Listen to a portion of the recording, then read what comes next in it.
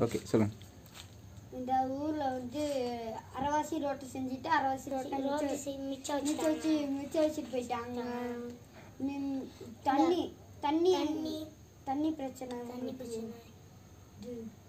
என்ன தண்ணி பிரச்சனைண்ணா தண்ணி பிரச்சனைனா ஒரு ஆள் பிடிச்சா இன்னொரு ஆள் வந்து அவங்களோட சண்டை போடுறாங்க. ஏன்?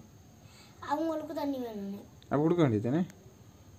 இன்னொரு ஆள் ஒரு ஆள் தண்ணி பிடிச்சிட்டு இருக்கும்போது இன்னொரு ஆள் தண்ணி வந்து அங்கிட்டு இருந்து இன்னொரு ஆள் வந்து எல்லா பக்கமும் இருந்து வந்து சண்டை சண்டை போடுறாங்க. அதனால உங்களுக்கு தான் பிரச்சனை இருக்கா? சண்டை பெருசாக சண்டை போடுவாங்களா? ஏ- ராங்கிலெல்லாம் ஏசுவாங்களா? அப்போ நீங்களாம் என்ன செய்வீங்க? பேசாதீங்கன்னு சொன்னாலும் அவங்க பேசுவாங்க. ம். உங்கள் வீட்டில் உங்கள் வீட்டாளங்களும் சண்டை போடுவாங்களா அப்படி?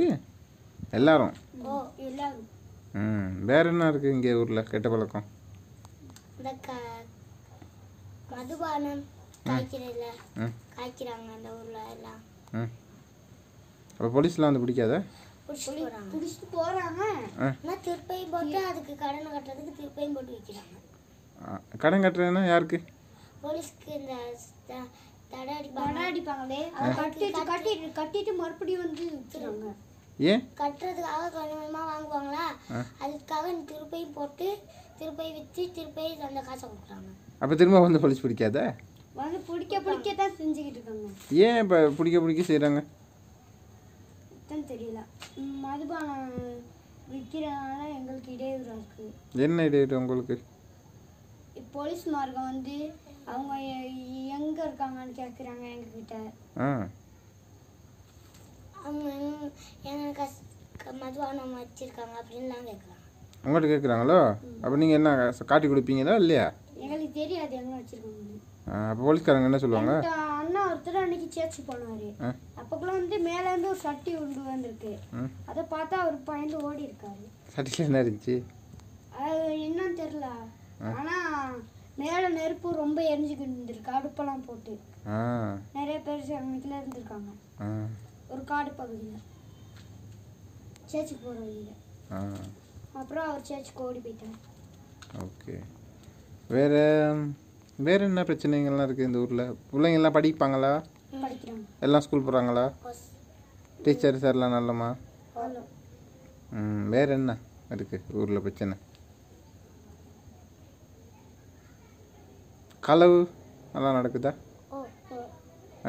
சப்பாத்தை கழட்டி வெளியே வச்சுட்டு போனா கூட இந்த அதை வெளியே வந்து பார்க்கக்குள்ள வீட்டுக்குள்ள வீட்டு வெளியே வந்து பார்க்கக்குள்ள அதை காணும். யார் எடுப்பா?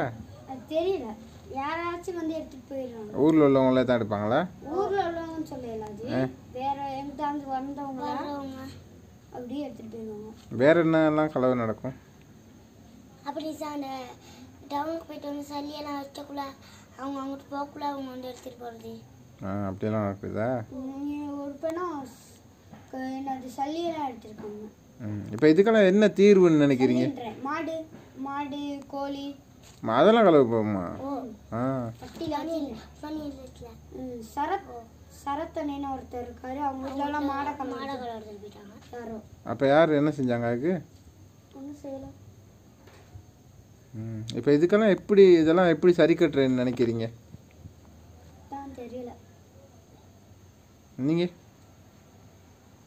எப்படி சரி கட்டுறது இதெல்லாம்? யோசிச்சுக்கிட்டு இருக்கீங்க என்ன? எல்லாரும் யோசிச்சுக்கிட்டு இருப்போம் அப்படியே.